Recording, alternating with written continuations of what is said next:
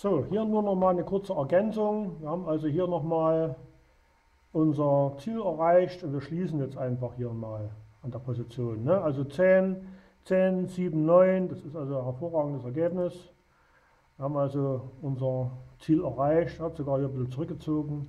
Also wir hätten heute äh, das Ziel eigentlich für zwei Tage erreicht. Ne? Wir haben also 6,8 Prozent. Ich wollte es einfach nur noch mal zeigen. Und hier diese kleine, äh, dieser kleine Rücksetzer hat sich auch genauso ereignet.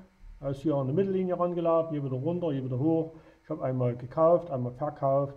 Und haben wir jetzt hier die 10.686. Äh, das ist ordentlicher Gewinn, also 6,8 Prozent in 24 Stunden. Wir können ja mal gucken, äh, wann wir denn hier eröffnet haben. Mal gucken. Ergebnis, dann nehmen wir einfach mal das aller, allererste. Mal gucken hier, das sind die Kontoauszüge.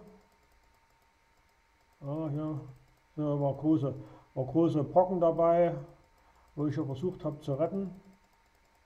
Ja, mal das ganz erste Mal gucken, irgendwo war das hier. Ja, mal gucken. Ah, hier. Ja, also 17.8., 12 Uhr und 5 und wir haben es jetzt äh, 18.8., 13, 13 Uhr 34, also man kann sagen 25 Stunden, 25,5 Stunden.